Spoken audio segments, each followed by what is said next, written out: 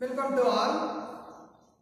Today, discuss about the next unit 7.2.8 decomposition. Tamil Sithaithal. What is decomposition? Decomposition is a process in which the dirty matters are break down into the simple organic matter by the decomposer.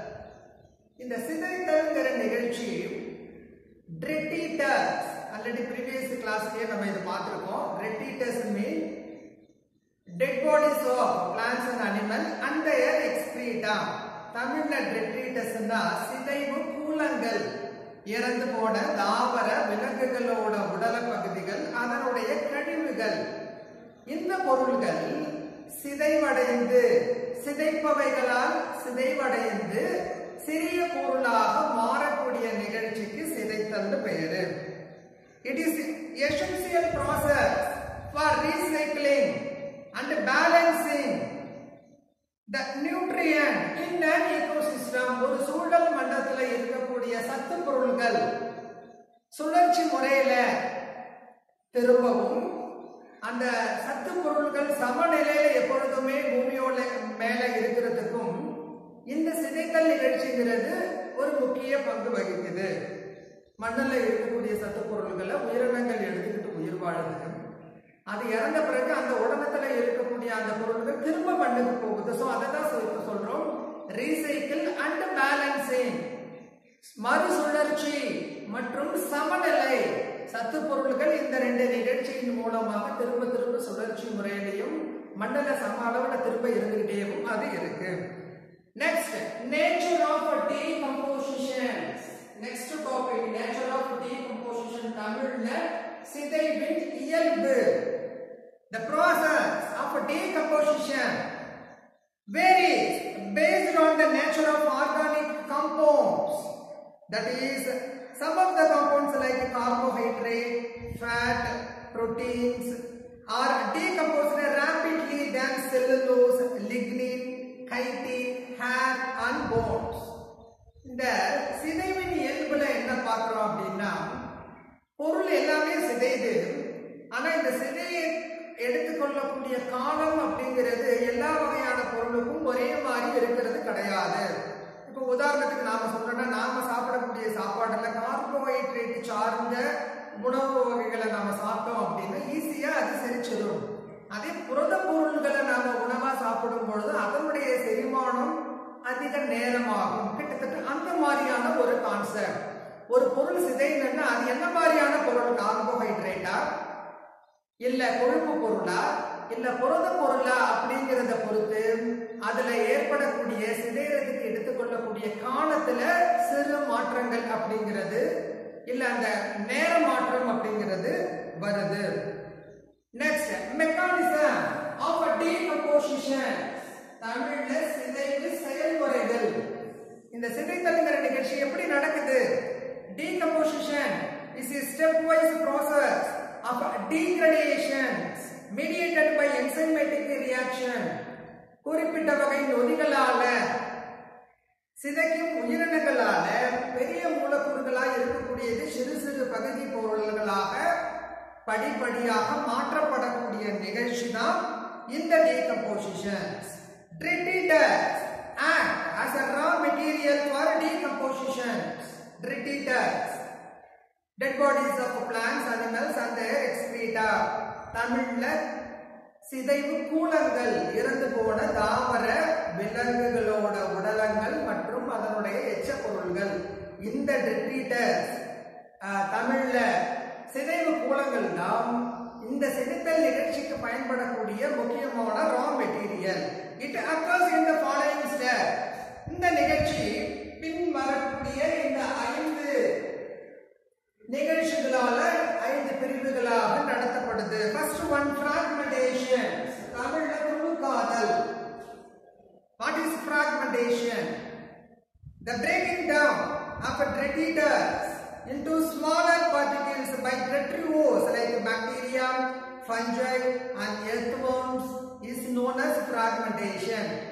சிதைப்பவைகளாக இருக்கக்கூடிய சில வகை பாக்டீரியங்கள் சில வகை பூஞ்சைகள் சில நேரங்களில் சில மண்புழு வகைகள் கூட. பெரிய மூலக்கூறுகளா இருக்கக்கூடிய இறந்து போன உடலத்தை சிதைச்சு சிறு மூலக்கூறுகளா மாற்றப்படக்கூடிய நிகழ்ச்சி தான் இந்த பிராக்மெண்டேஷன் தமிழ்ல தொடுக்காதல். These tetrivores secrete certain substances to enhance the fragmentation process and increase the surface area of detritus particles. இந்த சிதைப்பவை உயிரினங்கள் சில வகை வேதிப்பொருட்களை சுரந்து இந்த சிதைக்கக்கூடிய நிகழ்ச்சிக்கு பயன்படுத்துறதுனால இந்த சிறு மூலக்கூறுகள்ங்கிறது உண்டாக்கப்படுது. செகண்ட் டாபிக் கேட்டபாலிசம் தமிழ்ல சிதை மாற்றம்.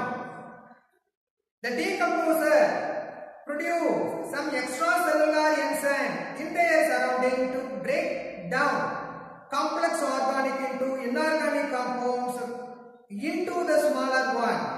இந்த நிகழ்ச்சியில நம்ம பார்த்தோம்னா இறந்து போன உடலத்துல எக்ஸ்ட்ரா செல்லுலார் என்சைம் செல்லுக்கு வெளியில சில நொதிப்பொருட்களை சுரந்து அந்த இறந்து போன உடலத்தை சிதைச்சு organic inorganic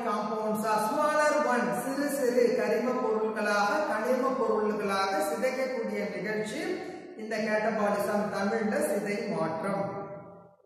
this is called catabolism இப்ப நம்ம மேல பார்த்த டாபிக்கும் பிராக்மெண்டேஷன் கீழே பார்த்த கேட்டபாலிசம் ரெண்டுமே basically big molecules is converted into smaller molecules ரெண்டுமே பேசிக் கான்செப்ட் தான் ஆனா இந்த ப்ராசஸ் நடக்கிறதுக்கு ஃபர்ஸ்ட் பிராக்மெண்டேஷன்ல நம்ம பார்க்கும்போது certain chemical substances it is secrete சில குறிப்பிட்ட வகை வேதிப்பொருள்களை சுரந்து அந்த நிகழ்ச்சியை நடக்குது அப்படிங்கிறது பிராக்மெண்டேஷன்ல நம்ம துணுக்காதல்ல பார்த்தோம். இங்க கேட்டபாலிசம் சிதை மாற்றத்துல எக்ஸ்ட்ரா செல்லுலார் என்சைம் குறிப்பிட்ட செல்லுக்கு வெளியில சில நொதி பொருள்களை சுரந்து அதன் மூலமா நடக்குது. அப்ப இது ரெண்டு தான் இங்க டிஃபரெண்ட் பட் பேசிக்கா பெரிய மாலிகுலா இருக்கிறது சின்ன மாலிகுலா மாறுதுங்கிற கான்செப்ட் இங்க ஒண்ணுதான். பட் மேல சில குறிப்பிட்ட வேதிப்பொருள்கள் கீழே சில குறிப்பிட்ட நொதிப்பொருள்கள் அதுதான் இந்த வித்தியாசம். Third one leaching or elimination தமிழ்ல கசிந்தோடல் அல்லது வடிதல் The movement of a decomposed water soluble organic and inorganic compound from the surface of lower layer of the soil or the carrying away of same by water is called leaching or elevation பொருள்கள் சிதைஞ்சு போய் மட்கி போய் அது சிதைந்த பொருளா organic inorganic பொருளா மாறிடுச்சு. மாறின பிறகு பூமியோட மேற்பரப்புல இருக்கக்கூடிய சாயில்ல கலந்தோ இல்ல சாயிலோட சர்ஃபேஸ் மேல மழை தண்ணி மாதிரி அடிச்சுட்டு போகும்போதோ அந்த தண்ணியில கலந்த தண்ணி மூலமாகவோ இல்ல மணல் துகள்கள் மூலமாகவோ சர்ஃபேஸ்ல இல்ல ஒரு குறிப்பிட்ட இடத்துல போய் சேரக்கூடிய இல்ல குறிப்பிட்ட இடத்துல கலக்கக்கூடிய நிகழ்ச்சி தான் இந்த லீச்சிங் ஆர் எலிவேஷன் அல்லது வடிதல் அப்படின்னு நம்ம சொல்றோம். ஃபோர்த் ஒன் ஹியூமிஃபிகேஷன் தமிழ்ல மட்காதல் மக்கு ஹியூமஸ் நம்ம சொல்லுவோம். Humification it is a process by which simplified predators is changed into dark colored. Amorphous substance is called humus. இந்த ஹியூமிஃபிகேஷன் மட்காதல்ங்கிற பொருள் இறந்து போன உடலங்கள் சிதைவு கூலங்கள்னு நம்ம சொல்லுவோம். அந்த பொருள்கள் சின்ன பொருளா சிதைந்து டார்க் கலர்ல நல்ல ஒரு அடர் நிறத்துல ஒரு கருமையான இல்ல ஒரு டார்க் பிரவுன் கலர்ல மாறி போன மற்ற பொருள் ஹியூமஸ் அந்த ஹியூமஸா டார்க் கலரா மாத்திர ப்ராசஸ் தான் இந்த மட்காதல். It is highly resistant to microbial action இந்த வகை ஹியூமஸ்ல நோய் உண்டாக்கக்கூடிய எந்த ஒரு நுண்ணுயிரியும் செயல்படாது. அந்த அளவுக்கு சத்தான பொருள். அதுக்கு தான் இன்னைக்கு நம்ம வந்து இயற்கையான உரங்களை வந்து அதிகமா பயன்படுத்தணும்னு சொல்றதுக்கான காரணம் அதான். இயற்கை உரங்களை அதிகமா பயன்படுத்தும் பொழுது அங்க நோய் உண்டாக்கும் கிருமிகளோட செயல்பாடு இருக்காது. அப்ப அங்க செயற்கையான உரங்களையோ பூச்சிக்கொல்லியோ போட்டு நம்மளுடைய விளை பொருள்களை ரசாயனம் கலந்த வேதிப்பொருள் கலந்த ஒரு விளைபொருளா நாம பயன்படுத்தாம இருக்கிறதுக்கு தவிர்க்கிறதுக்கு இயற்கை உரங்களை பயன்படுத்தணும் அப்படின்ட்டு இப்ப நம்ம சமீபமா சில விஷயங்கள் பேசப்படுது. ஸோ அதுதான் இங்க சொல்றோம் இந்த ஹியூமஸ்ல இந்த மக்கி போன பொருட்கள்ல நுண்ணுயிர்களோட செயல்பாடு இருக்காது. Therefore decomposition is very slow. அப்ப இது கிட்டத்தட்ட கடைசி நிலையில இருக்கிறதுனால இங்க டீகம்போசிஷன் ப்ராசஸ்ங்கிறது கொஞ்சம் மெதுவா நடக்கக்கூடிய நிகழ்ச்சியா தான் இது இருக்கு. லாஸ்ட் டாபிக் மினரலைசேஷன் தமிழ்ல கனிமமாக்கம் some microbes are involved in release of inorganic nutrient from the humus of the soil such process is called mineralization ஏற்கனவே இறந்து போன உடலங்கள்ல இருந்து சிதைந்த சிறிய பொருள்கள் இன்ஆர்கானிக் கனிம பொருள்களாக பிரிச்சு சாயல்ல கலக்கக்கூடிய நிகழ்ச்சி தான் மினரலைசேஷன் தமிழ்ல கனிமமாக்கல். Last topic factors affecting decomposition தமிழ்ல சிதைவு செயலை பாதிக்கும் காரணிகள். சிதைத்தல் நிகழ்ச்சி. சில சிதைப்பவைகள் சில வகை பாக்டீரியங்கள் பூஞ்சைகள்னால நடக்குது.